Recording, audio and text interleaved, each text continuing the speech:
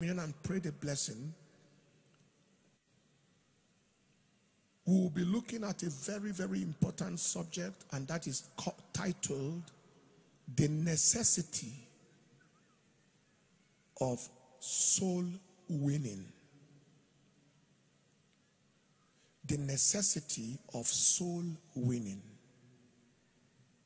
John chapter 12, verse 20 to 24. John 12, 23 to 24. And Jesus answered them and said, The hour is come that the Son of Man should be glorified. Verily, verily, I say unto you, except a corn of wheat fall into the ground and die, it abideth alone. But if it die, it bringeth forth much fruit. The Lord bless his word in Jesus' precious name. Our objective this morning is understanding the necessity of commitment to soul winning.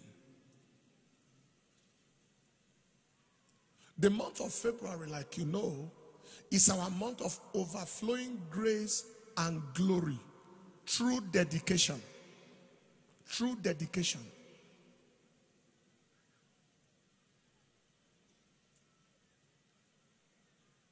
And you know, it's confirmed in scripture that dedication, commitment, in fact, deadly commitment, as God's servant Bishop Oyedepo will call it, deadly commitment to God is the way of the glory. So note that as the first thing I'll say this morning by way of introduction. Dedication, commitment, deadly commitment to God is the way of the glory. That was why he said, The hour has come for the Son of Man to be glorified. But except the corn of wheat fall to the ground and dies, it abides alone. Commitment that is almost like commitment unto death. That is, you are dead to everything is the way to the glory. Secondly, the way of seriousness with God is the way of gloriousness in life. The way of seriousness with God is the way of gloriousness of life. To be serious with God is to end glorious in life. You look at Abraham, you look at Moses, you look at Jacob. These were people that were serious with God.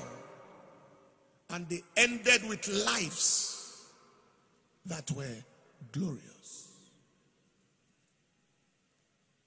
And the third is that soul winning, commitment to soul winning is one of the most vital aspects of commitment to God. Commitment to soul winning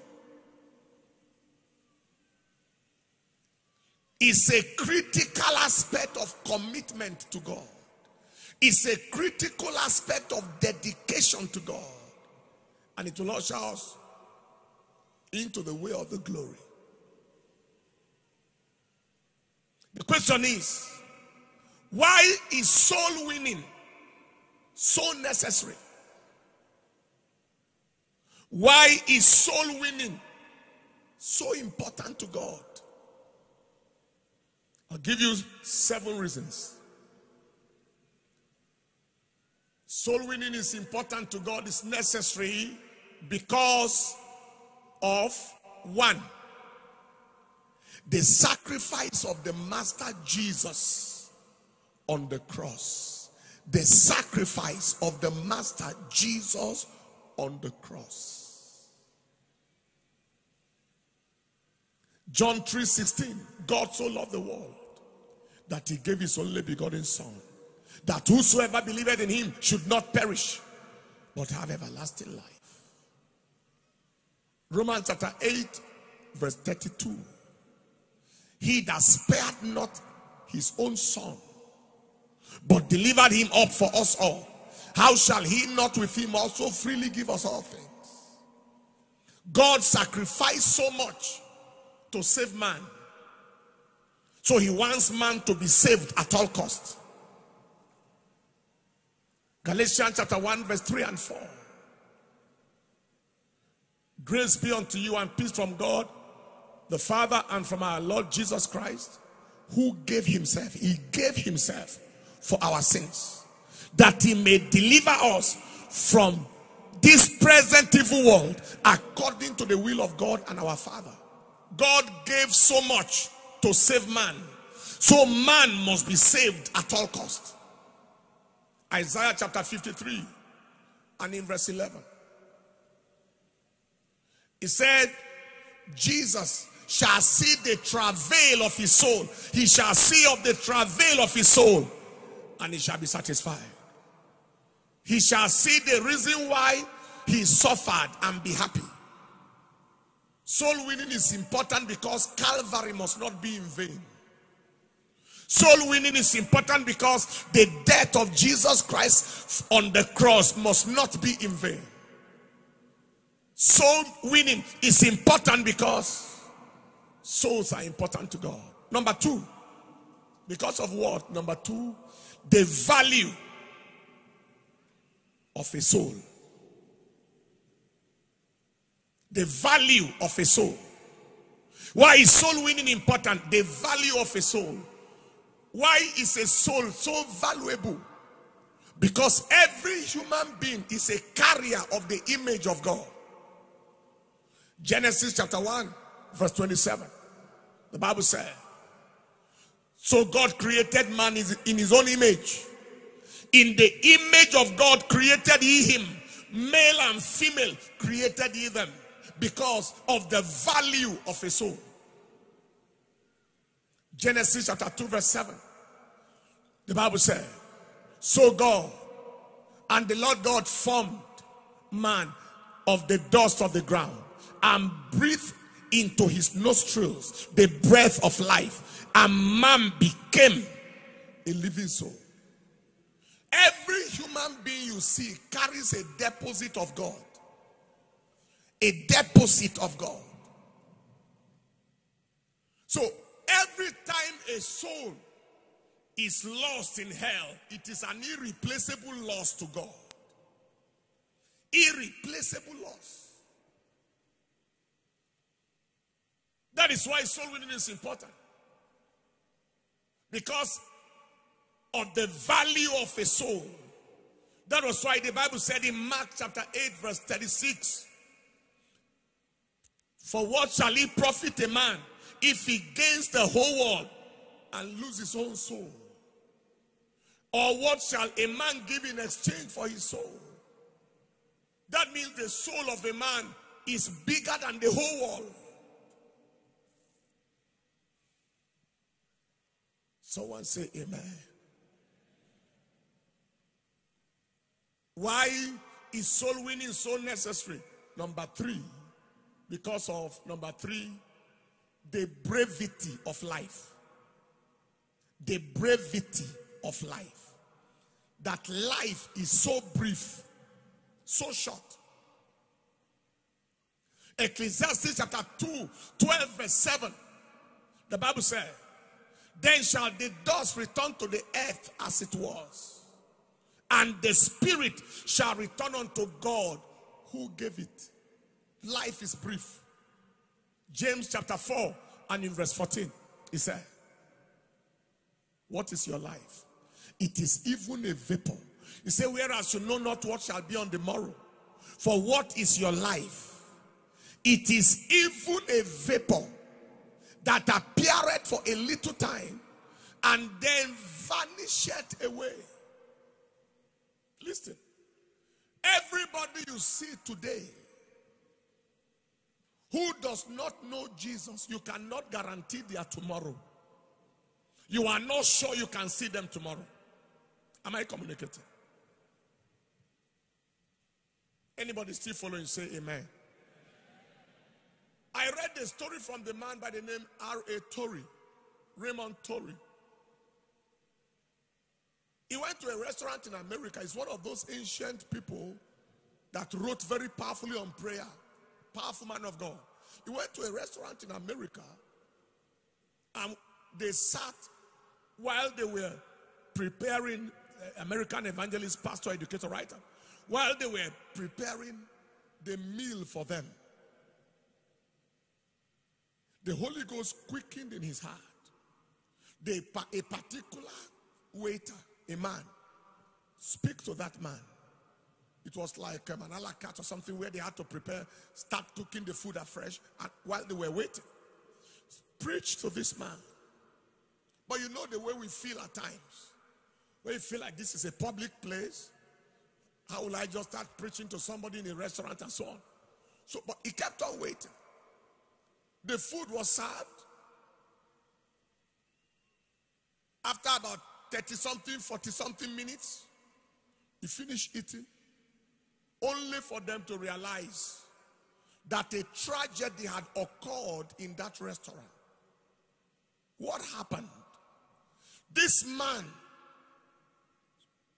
somebody had gone behind the kitchen of that restaurant and committed suicide. Who is that person? The same hotel waiter that the Lord said, Speak to this man, was at the brink of death, had planned to commit suicide. God saw it, God told him. He was hesitant. The man hung himself, died while they were still in the restaurant. He could never forgive himself, never could he recover for it for life. He was the one who told the story himself. What is your life? It's a vapor that appears. In the university in those days, I preached to a young man. This guy was a Christian before. All of a sudden, he backslid. And I preached to him. I said, Will you give your life to Christ and so on? And he told me something I will never forget. And I, until this day, it's a sorrow to my heart. He said, I don't want to serve God. He said, and I don't think there is a hell. And he said, and if there is a hell, I don't mind going there.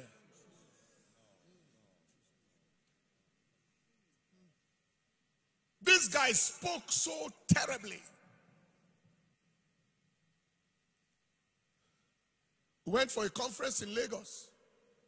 On return back to the campus, the first news I heard was that this boy, this was like a few weeks later, this young man became sick. He vomited like he vomited two bucketfuls of vomiters. They rushed him to the teaching hospital. Before they could reach the teaching hospital, he gave up the ghost. He was brought in dead to the accident and um, emergency, straight to the mortuary. And when I, when I heard that, I collapsed on this on this. That was the first and maybe the last time I ever. I just on my face fainted literally because the last thing he told me was in my ears. I don't think there is a hell, and if there is a hell, I don't mind going there. The devil did an overtime on that young man. And I'm going to come to that later. Why is soul winning important? Because of the brevity of life. That is why at times we, you need to force some people, put them under pressure to give their lives to God. Why is it important? Number four, the reality of eternal hell the reality of eternal hell. The fact that hell is real and the fact that heaven is real. And those who don't know God are going to hell. And those who know God are going to heaven. By the mercy of God, I've seen slight visions of hell. It's not a place to go and by the mercies of God, I've seen slight visions of heaven. Saw myself lying down one day in worship in a place I recognize like the throne room as the throne room in that revelation. with sound coming from everywhere, worship. It is not a place to miss. Hell is not a place to make. Heaven is not a place to miss. Look at what the Bible said in Psalm 9, verse 17. It said, The wicked shall be turned into hell, and all the nations that forget God. Daniel chapter 12 and in verse 2, he said, And many of them that sleep in the dust of the earth shall awake, some to everlasting life, and some to shame and everlasting contempt. Matthew chapter 25, verse 41. He said, And he shall say unto them on the left hand, Depart from me, you cursed, into everlasting fire that was prepared for the devil and his angels. There is an everlasting fire not prepared for man, prepared for the devil, but men go there when they refuse to obey God. Now, Mark chapter 9, verse 43 to 48 is one scripture that made a mark on me as a young Christian. If thy hand offend you, cut it off. It is better for you to enter into life maimed than having two hands to go into hell, into the fire that never shall be quenched. Where they are warm, diet not, and the fire is not quenched. And if thy foot offend thee, cut it off. It is better for you to enter halt into life than having two feet to be cast into hell, into the fire that never shall be quenched. Where they are warm, diet not, and the fire is not quenched. And if your eye offend you, pluck it out. It is better for thee to enter into the kingdom of God with one eye than having two eyes to be cast into hellfire, where their worm warm, diet not, and the fire is not quenched. That is, the fire is endless, and the worm that came out of the person's body is eternal. And the torment on the worm, the owner of the worm feels the pain of it. It's, it's real. In Area One Church, I preached the message, Hell is real. I'm sure many of you remember that message. In one of, I think it was in the second service, one young lady who came out for the altar call uh, uh, uh, before I could have the time to pray for them, fainted on the altar. And the ushers carried her. Usher wanted to carry her and realized one person couldn't lift her up. Two, three, four people just gone. They took her to the back of the altar. The area one, the corridor of the office there. After the first service, after that service, I went back there. Using my medical doctor knowledge, to try to find out if she was in coma or whatever was, was it. Call her, she wasn't. Applied the highest level of pressure, sternal pressure, and there was zero response, which was me, which meant that if she was either dead or totally in coma. What? Can somebody come into church and die like that? And then I place my hand on the pulse. I thought I felt something faint. I wasn't sure. But then I screamed into her ears. You can't come to church and die like this. In the name of Jesus, come back. And she came back, jerked and came back. I was relieved, went back into church. When they found out the detail, they said the last thing she, she said, the last thing she remembered was when she came out of the altar call and she collapsed. Next, she found herself on the road and then came and saw a tall angel standing right there. And he looked this way and saw people inside fire burning and screaming. And he looked this way and saw in the far distance people celebrating and rejoicing. And she told the angel, I want to go there to where the people are celebrating. And the angel said, What you are wearing is dirty. You can't enter there. This is where you belong pointed to hell. She had not prayed the prayer, she just stepped out. It was at that point of their conversation that I came and I said, Come back! And she jerked back to life. To me, that day, it was as if when I said hell was real, God wanted to show somebody the reality of that hell. that don't just preach the message, let somebody witness the reality of hell. Is God speaking to somebody here? Why do we preach? One of my friends saw the revelation of hell many years ago when we were young converts. And he said to me, he said, You won't like your metal to go to hell. Uh, that your metal, that is your piece of iron, provided it is yours, you won't like it there. Am I communicating at all? Why do we preach? Why is soul winning important?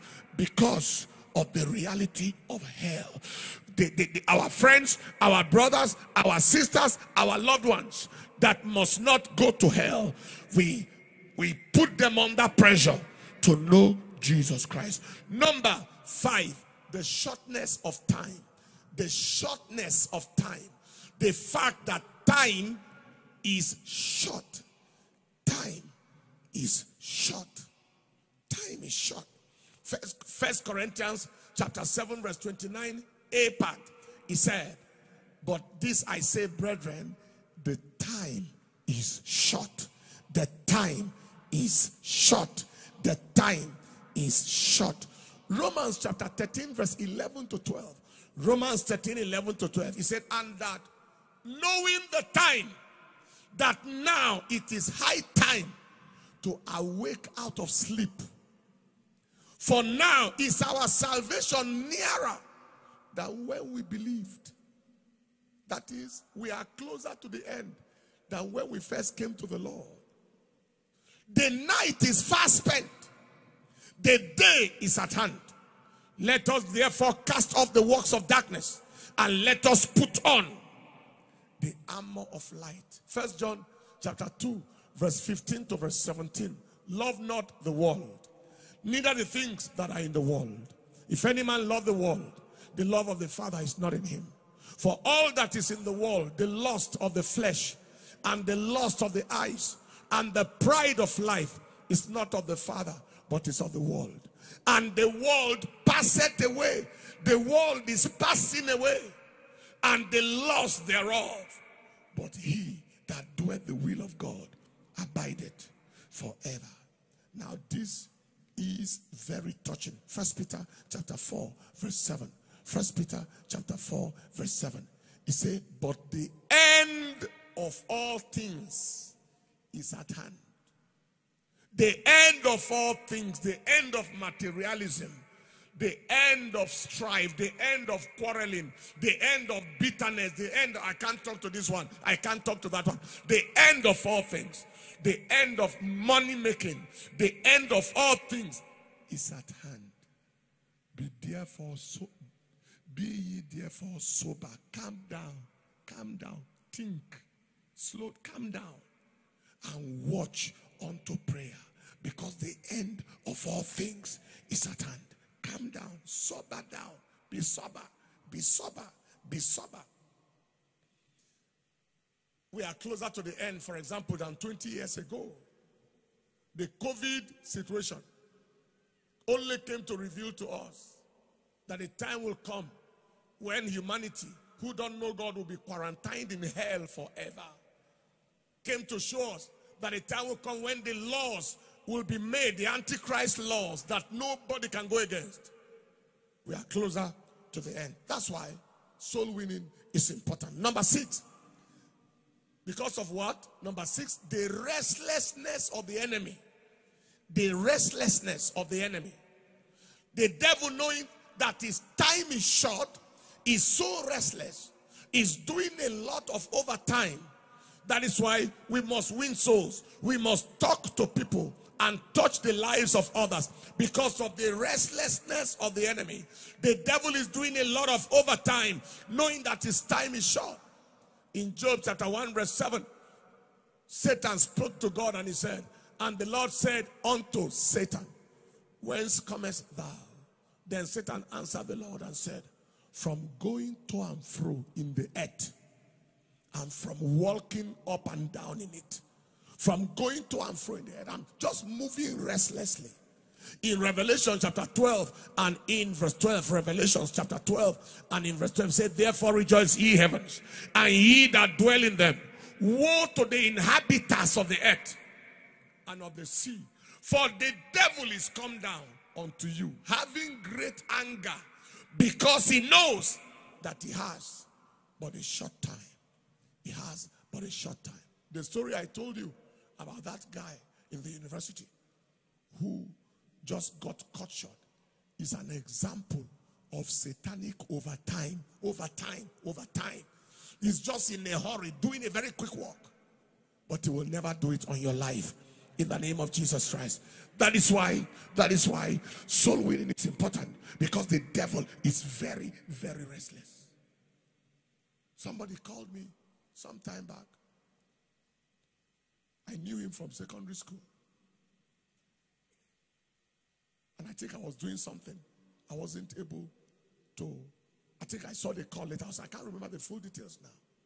Next time I called these people to say, okay, so as so person was calling me, he has gone. What? That was when I realized that there is a lot of enemy restlessness going on. Why do we? Why is soul winning necessary? It's necessary because of number seven, the love of the Father, the heart of the Father, the love of the Father. First Peter chapter 3, verse 9. Sorry, Second Peter chapter 3, verse 9. He said, God is not slack. The Lord is not slack concerning his promise, as some people count slackness. But he is long suffering to, towards us. He is not willing that any should perish, but that all should come to repentance. Some people say, they, they've been saying Jesus will come. Why has he not come? He said, God is not slack, he's not slow. He's just wishing that one more person be saved. One more person be saved. One more person be saved. One more person be saved. The heart of the Father. How many of you remember the story of the prodigal son? That story typifies the father and his household. When the prodigal son came to himself and he said, How many hired servants of my father have bread enough to eat, and I am here dying of hunger? I will arise. And he arose. In Luke chapter 15, verse 20, I want you to see something. And he arose and came to his father. But when he was yet a great way off, his father saw him and had compassion and ran from the house to meet him and fell on his neck and kissed him. Can I ask you a question? His father saw him afar off. Means that his father was sitting in the parlor or in the bedroom. In all probability, where was the father? Outside the house, standing on the balcony, watching for when the prodigal will return. I'm about to say something that will shock you. The father was outside the house. There, there may be music in the house. There may be celebration in the house. People are eating, drinking. That was the father's mind was somewhere. In most churches today, God is outside the house. Go ahead and be doing your ceremony. I am waiting for the one outside that is not yet come.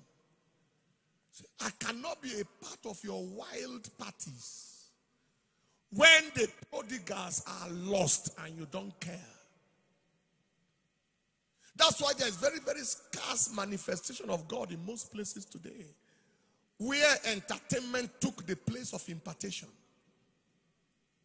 Because the father is outside waiting for the prodigal to come home. And the best place to join the father is where he is. Am I communicating? Most of the things that most people celebrate is to God's shadow. Do you know what they celebrate in heaven? Luke chapter 15, verse 7. Luke 15, 7. I say unto you that likewise joy shall be in heaven. Joy shall be in heaven. Joy shall be in heaven over one soul that repented more than 99 righteous people who need no repentance. See, I am happy that you are saved. I thank God that your blind eye saw. I thank God that you got your contract. I thank God that you eventually got married. You eventually got your children. I thank God that you got all these things, but I can tell you, I am far more excited that one soul got saved than anything that is making you to rejoice. Am I communicating? That is why. That is why. The father's heart is the heart that is literally out on the field looking for the prodigals of the earth. He is the shepherd who will go after one sheep despite 99 that are safe. I want us to join the Father. Let's review what we have said so far. Soul winning is necessary because of what? One, the sacrifice of the Master Jesus on the cross. Two, the value of a soul, the soul of man.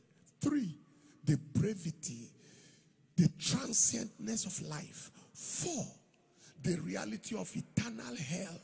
Five, the shortness of time. Six, the restlessness of the devil. Number seven, the love of the Father. This is my counsel. I'd like you to note it number one. The best way to live is to live for God. The best way to live is not to live for self, it is to live for God.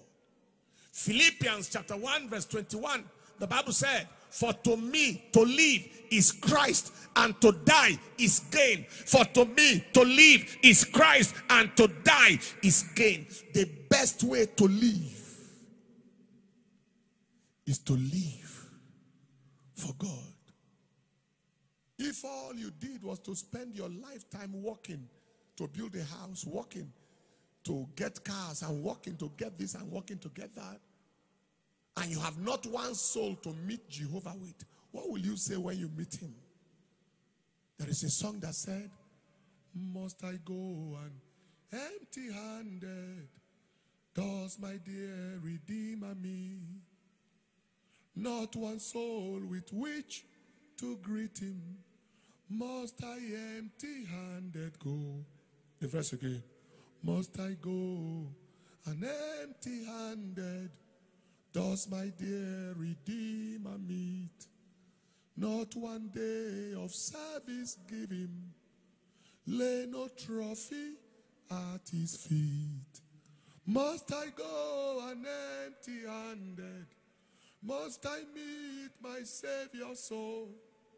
Not one soul with which to greet him. Must I empty handed go? Must I go empty? Will I just spend my whole life pursuing sh- shadows?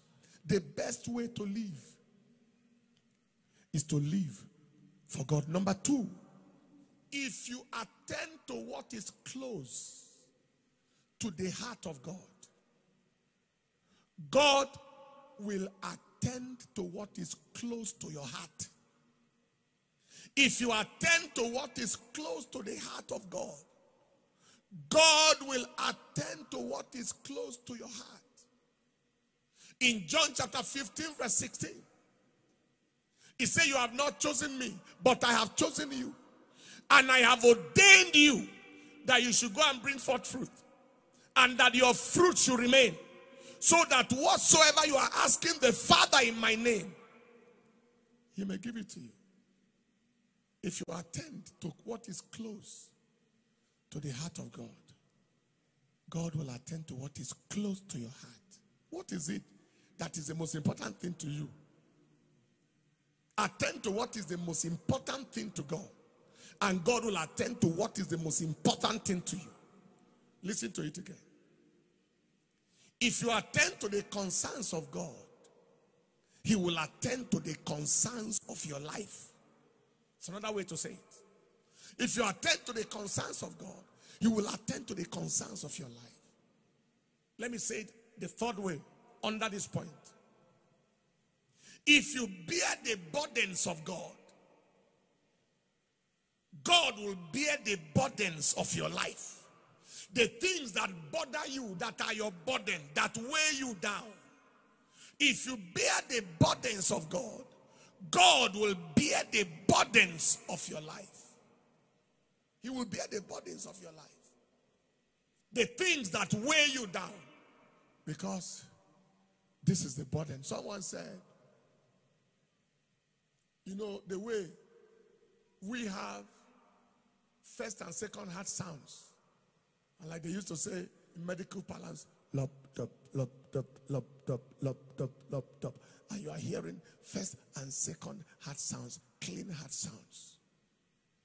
Someone said, if you listen to the heart of God, this is the sound. Souls, souls, souls, souls, souls, souls, souls, souls, souls, souls. His heart beats for souls, after souls, after souls, souls, souls in Japan, in China, in India, in Indonesia, in Venezuela, in America, among the homosexuals, the gays, the lesbians, the billionaires, the millionaires, the paupers, those on the street, souls, the killers, the kidnappers, the arm robbers, the terrorists, souls, souls, souls.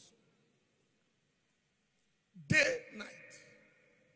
That is what pushes us. That is what brings us back from the crusade, and then you are right on the street again, rescuing and raking souls. That is point number two, counsel and note. Number three.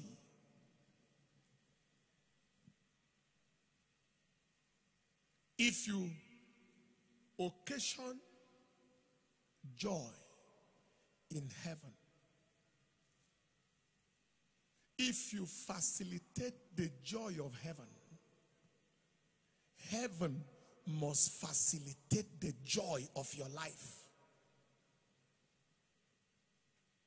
It's, it's inevitable. He said, You draw near to me, I'll draw near to you. If you facilitate the joy of heaven, that is, you make joy to happen in heaven. No devil on earth can prevent heaven from making joy to happen in your life. To happen in your life. Luke 15 7 say there is joy in heaven. And then I believe it was James 4 6 where I said, Draw near to me, I'll draw near to you. And Psalm 18, I think verse 25 or 35, where he said, To the upright, you will show yourself upright.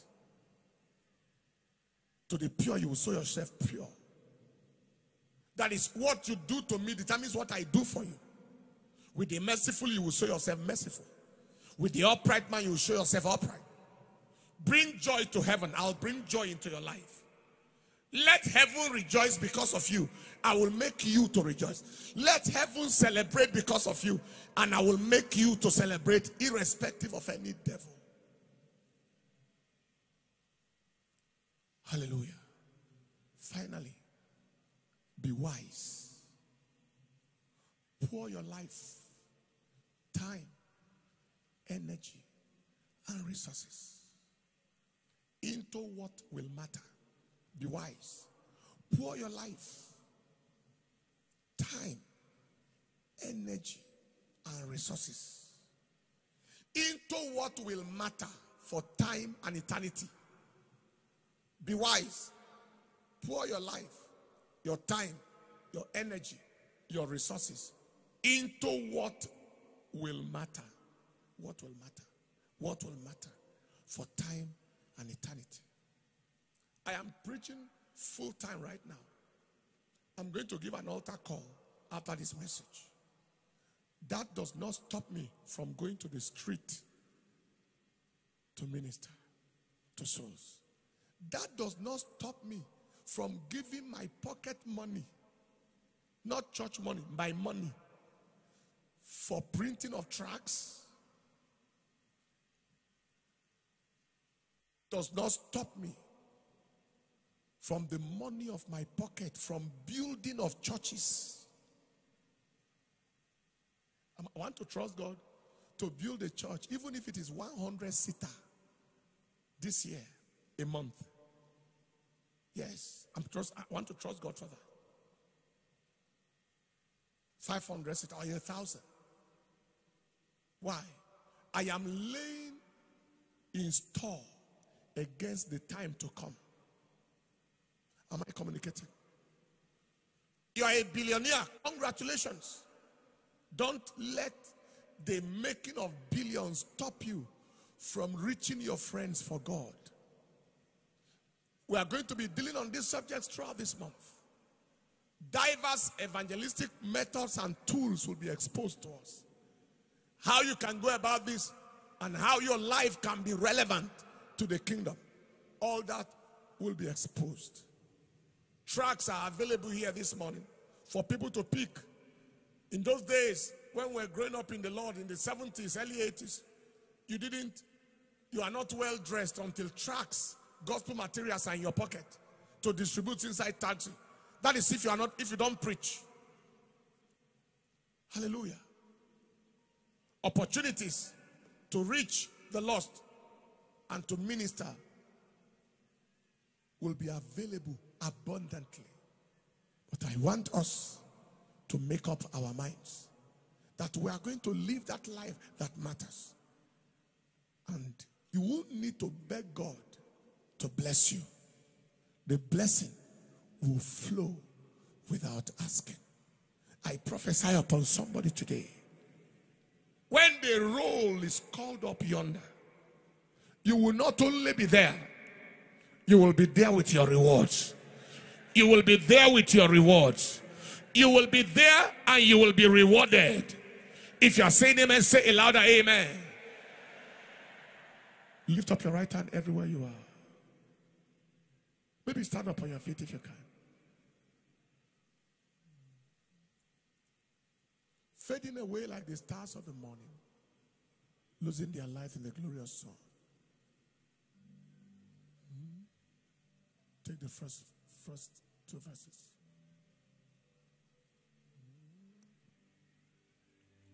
Fading away like the stars of the morning, losing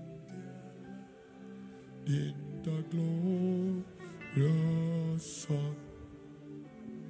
Thus would we pass from the earth and its toil. Only oh,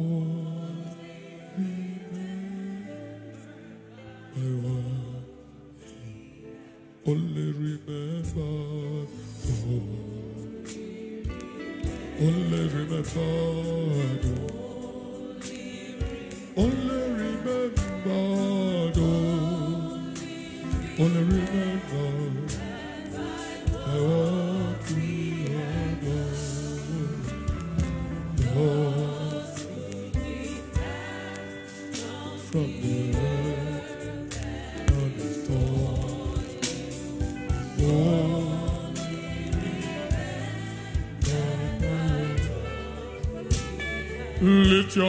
your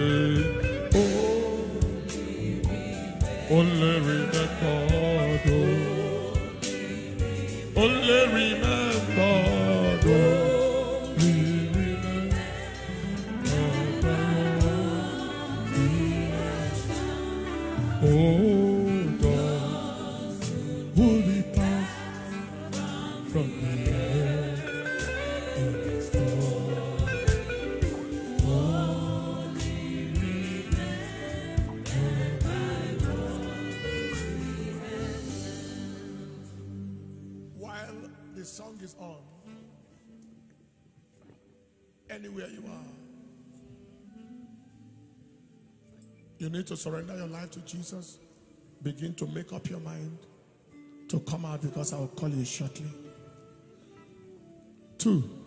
Shall we be missed though by others succeed? Reaping the field.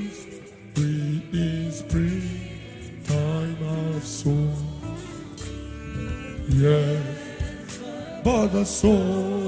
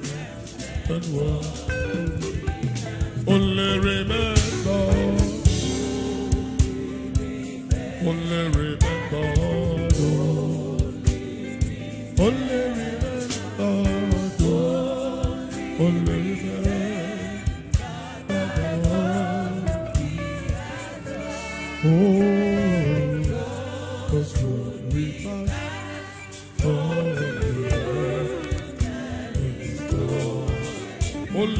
holy.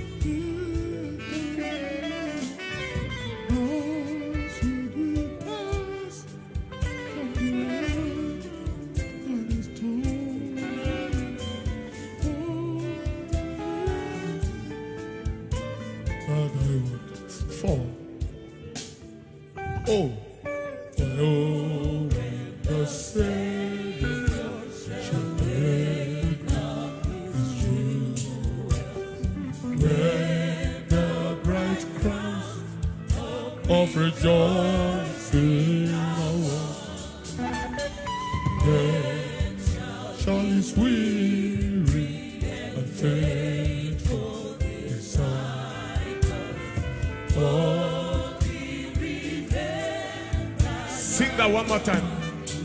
Verse 4. When the Savior. Oh, the Savior shall make you. When the bright of rejoicing hours. Yes, shall be and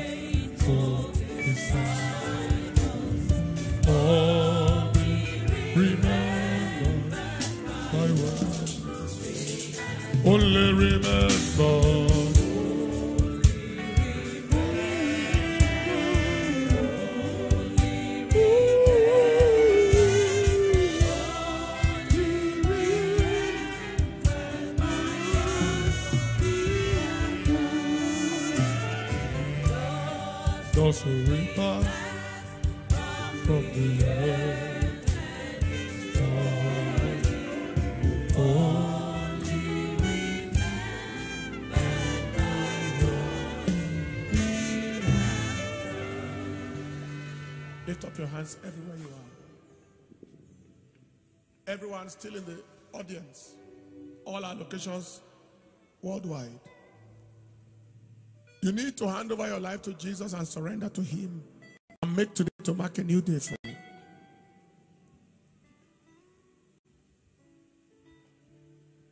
And want Jesus to be Lord of your life. You want to be saved. You want to be genuinely born again. And you need help from God. Pray this prayer with me and say after me, Lord Jesus. Louder. I am a sinner. I am in need of help. Come into my life, Jesus. Make me a new person. Today I have decided to follow you, Jesus. No turning back. From today, I go forward ever, backward never. Thank you, Master. And thank you, Master. In Jesus' name, amen. Those who pray that prayer, wave your hand. Yes, those in the crowd. I see many in the crowd. All right. I see a lot of the children from the school waving their hands. As the chaplain, please attend to them and ensure that they are followed up. Now, up beyond that, every other person, wave your hand. Let me see you. Wave your hands, all of you. You pray this prayer. Yes, I see the people who pray that prayer. I live for Jesus day after day. While that song is on, and at the count of seven, pick your Bibles and your bags and quickly rush to the front here and be the first to come. Join us. Some are already in the front. Join them quickly at the count of seven. One. Everybody remain standing still. Just a minute. Don't be the last to come, be the first. Two. I saw many hands there. Rush to the front. Three. I live for Jesus. Four. Day after day.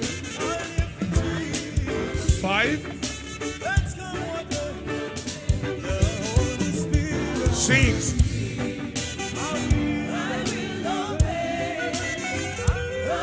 And seven. I live for Jesus. I live for Jesus.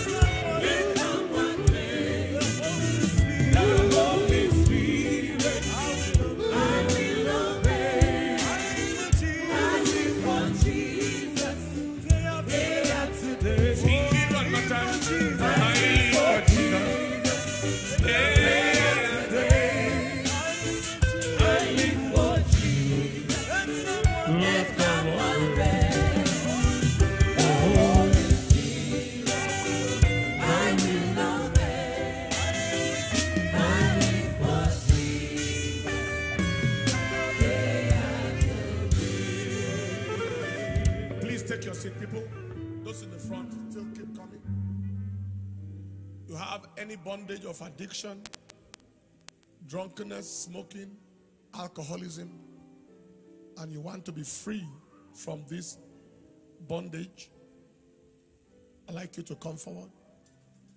Lifestyle that you are not happy with, you want to be free from it. I'm tired of smoking, tired of drinking, tired of womanizing, tired of prostitution, tired of this kind of life, fraud, internet fraud, gambling. Quickly come forward. Move on, move on, don't be tired. My Savior understands. It must be well. Move on, move on, don't be tired. My Savior understands. It shall be well.